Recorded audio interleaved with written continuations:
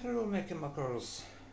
Everybody's asking me all the time what I've been doing myself the last few months. Well, not much because I've been trying busy trying to get my house and sorted out, spend time with my kid and all the rest of it. But I thought tonight and do a little repair. Nothing too special. Is a garage find, it's an EPROM eraser.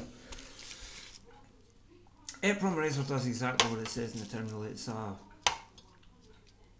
it blanks off any program chip with a window on the top of it so you can reprogram them. But physically, it's just a box with a fluorescent tube and starter and a timer on it. So, it's a really easy fix. And you can see, I've got a standard bulb in it, and it fires up a treat.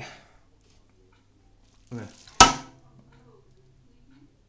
That's a safety feature on it. Let's show it there.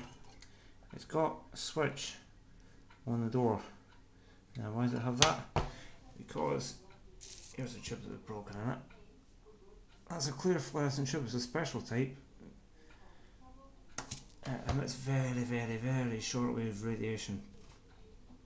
It wouldn't be very good for your eyes, your hands, skin in general. Those, these things are designed to kill bacteria cells, so they're probably going to kill any other cell that come, comes in contact with them. It's like getting sunburn from hell. But anyway, switch action's working fine. Timer's working fine. Wasn't much else to do at all. So all I need to do now is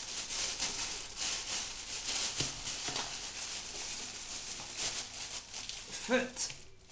I can't get it out of the box the correct UV tube, which is this one. Hmm, that one would appear to be. Oh yeah.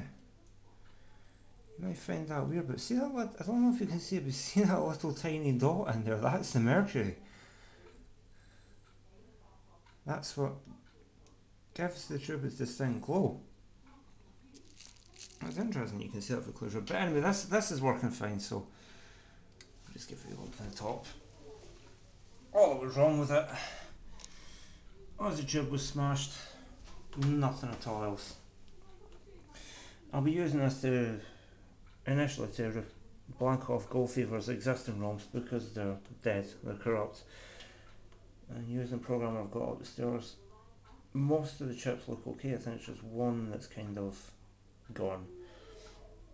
But I don't think it's the chip itself, I think it's just been lying too long or something or been exposed to too much direct sunlight because the little sticker was missing off the window but I didn't see. I'm not going to leave it on long enough to show the timer but I just need to replace this with that proper bulb that goes in there and then I'll be able to use it. Alright so bye for now.